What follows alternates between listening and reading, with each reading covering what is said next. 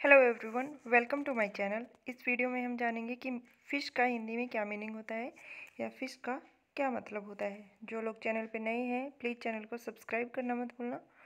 Fish का हिंदी अर्थ है मछली, मत्स्य, मछली मारना, मछली पकड़ना, जल तल से निकालना, दोह में रहना, यानी an animal that lives and breathes in water and swims example I don't like fried fish fried का मतलब होता है तला हुआ, ठीक है? फ़िश का मतलब है मछली, लाइक का मतलब होता है पसंद, ठीक है? मुझे तली हुई मछली पसंद नहीं है। तो इसके साथ इस वीडियो में बस इतना ही। Thank you for watching